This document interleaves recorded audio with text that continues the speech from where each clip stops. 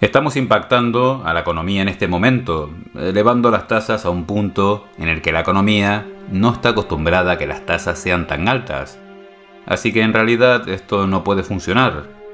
Esto lo hemos hecho en un periodo de tiempo tan rápido que es literalmente como sacudir el sistema financiero. Y esto está acabando con nuestras perspectivas de crecimiento económico. Y el problema es que si seguimos usando la vieja medicina para tratar de solucionar las cosas, solo estamos empeorando los problemas. Así que si tratamos de apretarnos el cinturón y tratar de usar la austeridad para tratar de revertir lo que hemos creado, en realidad comenzamos a enviar el sistema a un estado de shock y comienza a amenazar con colapsar. Por lo que realmente no tenemos un buen camino que elegir. Así que hay una creciente inestabilidad que viene contra nosotros. Así que voy a ir al grano, que es cuánto tiempo tenemos.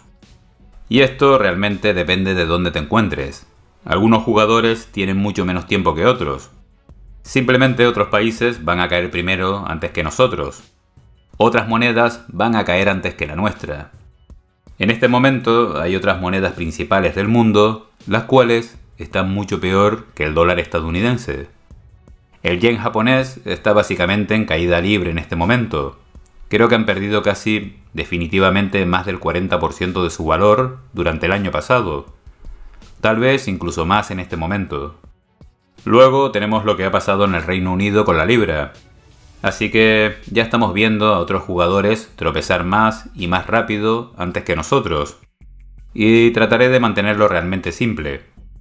A medida que el resto del mundo tropieza, es más probable que tropiecen primero antes que nosotros y probablemente peor que nosotros. Por ejemplo, el oro y la plata están subiendo en comparación con los yenes. Pero tenemos toda esta deuda con el dólar estadounidense que se convertirá en papel higiénico de la noche a la mañana. Básicamente habrá un ajuste de cuentas con el dólar estadounidense, como habrá un ajuste de cuentas con todas las monedas fiduciarias. Pero es muy probable que sea el último dominó en caer, porque además existe una demanda global de dólares. Una gran cantidad de capital extranjero simplemente encontrará su camino hacia el mercado estadounidense, ya que buscará estabilidad, refugio seguro y retorno. Y eso, de cierto modo, es algo tan malo como lo que podría venir a los mercados de capital de Estados Unidos. En realidad, le puede ir bastante bien en términos relativos, porque solo tiene esta avalancha de capital externo que ingresa nuevamente. No necesariamente para aquellos que tienen preocupaciones legítimas sobre el mercado de Estados Unidos y el dólar estadounidense.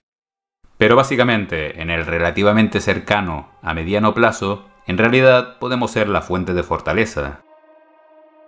Y lo mantendré realmente simple aquí para que se entienda esto bien.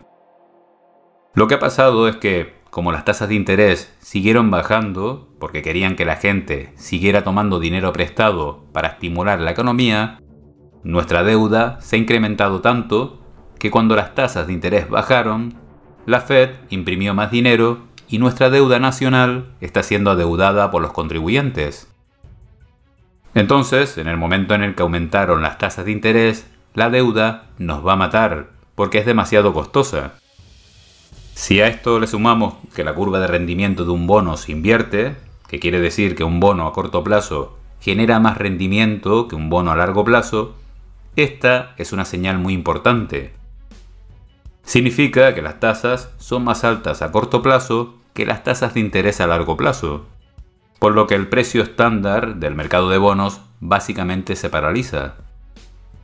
Normalmente esperaría que se cobraran rendimientos más altos por la deuda de mayor duración, pero en cambio es la deuda a más corto plazo la que cobra el rendimiento más alto. Y la razón de esto es que, básicamente, el mercado de bonos está muy nervioso en el corto plazo. Estaba hablando de cuán rápido la Fed ha estado subiendo las tasas de interés hasta que, entre comillas, algo se rompa en el futuro cercano. Entonces todos deberíamos ser un poco más cautelosos, un poco más defensivos en este momento, ya que sabes que podemos estar entrando en una recesión, porque una curva de rendimiento invertida es una de las señales más confiables que tenemos de una recesión. A Harry Dent le gustan mucho los bonos del Tesoro de Estados Unidos, Y en este momento hay muchas personas a las que les gustan los bonos municipales. Personalmente, me resulta difícil presentar un argumento a favor de los bonos en este momento. Y por supuesto, estoy haciendo una declaración general como con las acciones.